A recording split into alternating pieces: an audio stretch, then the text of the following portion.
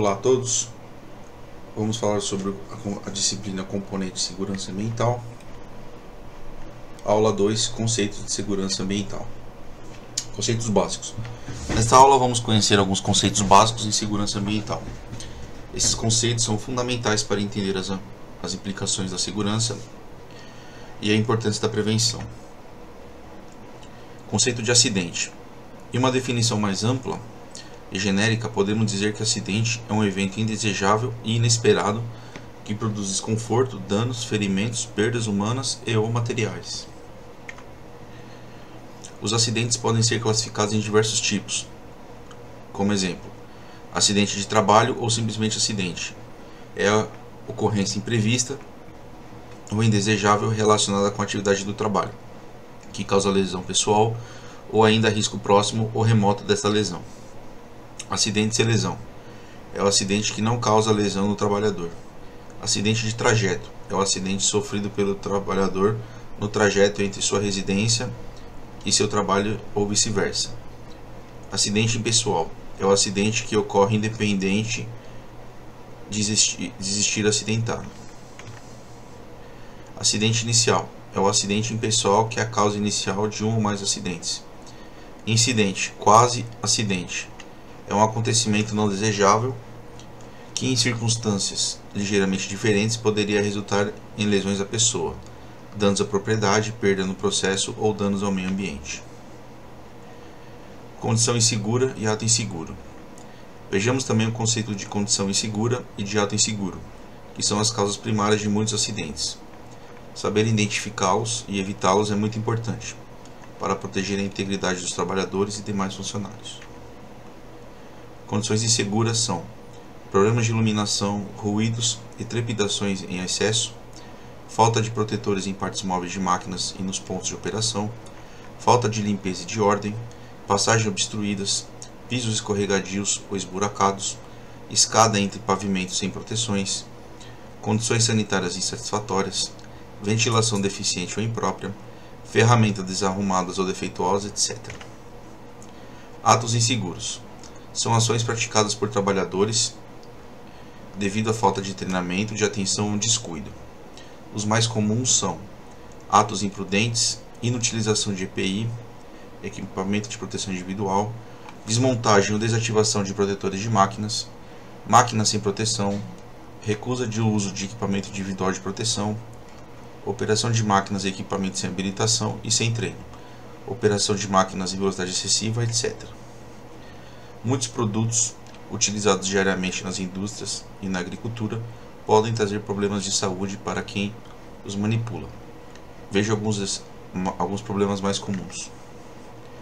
Produtos irritantes e ou corrosivos provocam alterações na pele ou mucosas, cimento, ácido, bases, etc. Produtos sensibilizantes produzem alergias, níquel, cromo, fibras sintéticas. Produtos asfixiantes impedem o organismo de obter ou usar o oxigênio do ar atmosférico, monóxido de carbono e cianetos. Produtos narcóticos produzem consciência, clorofórmio, etéreis, álcools, acetonas.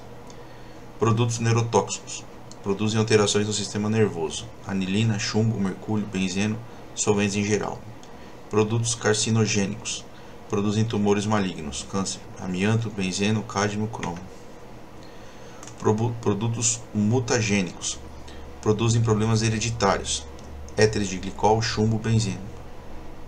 Produtos teratogênicos, produzem malformações no feto, substâncias radioativas.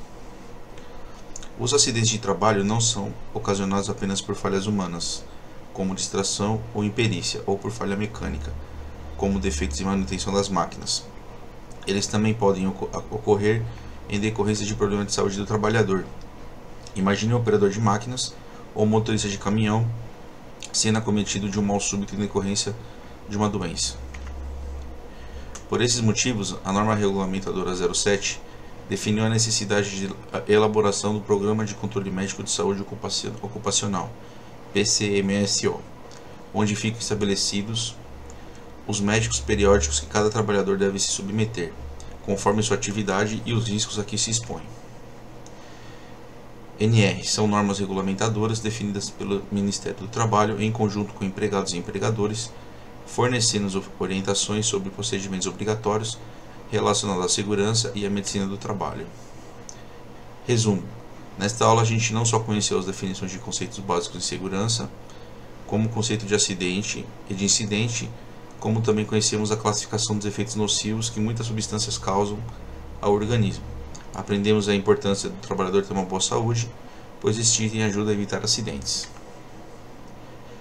EPIs, equipamentos de proteção individual. É todo dispositivo de uso individual destinado a proteger a saúde e integridade física do trabalhador. O uso de equipamentos de proteção individual é regido pela norma regulamentar 06, NR06, que dispõe que a empresa é obrigatória fornecer gratuitamente aos empregados os equipamentos de proteção individual de acordo com a função exercida. Todos os equipamentos devem estar em perfeito estado de conservação e funcionamento. São considerados equipamentos de proteção individual: sapato e calçado de segurança, óculos, luvas, cintos de segurança, máscaras respiratórias, protetores auriculares, etc. Equipamentos de proteção coletivas, EPC, são medidas gerais a serem tomadas por uma empresa para trabalhadores para proteger os trabalhadores da exposição a um agente salubre ou, e ou perigoso. Desta forma, deve-se entender não só como equipamentos, mas como método e tecnologia. Como exemplo, podemos citar isolamento acústico de fontes de ruído, ventilação dos locais de trabalho, proteção de partes móveis de máquinas e equipamentos, sinalização de segurança, cabine de segurança biológica, cabine para manipulação de radiações, extintores de incêndios, dentre outros. Profissionais da área de segurança. A segurança do trabalhador é um assunto sério. Por esse motivo, é constantemente analisado. Existem profissionais dedicados somente a esse assunto, buscando garantir a integridade física do trabalhador. São eles: o engenheiro de segurança planeja o ambiente de trabalho, garantindo que os equipamentos e as condições de trabalho não prejudiquem o trabalhador em sua função em sua ou em sua vida futura. O técnico de segurança executa as ações planejadas pelos engenheiros e verifica se estão sendo adotadas pelos trabalhadores e demais responsáveis. Os médicos e enfermeiros do trabalho são especializados em diagnosticar e tratar as doenças ou lesões que acometem os trabalhadores nos diversos ramos de atividade. Todos esses profissionais compõem o SESMIT, Serviços Especializados em Engenharia de Segurança e Medicina do Trabalho, que você verá com mais detalhes nas outras aulas. Resumo: Nessa aula você não apenas aprendeu o que são EPIs e EPCs, como também conheceu a importância e a diferença entre eles viu que os profissionais da área de segurança do trabalhador desempenham funções importantes para as atividades laborais e para a integridade física dos trabalhadores. Obrigado.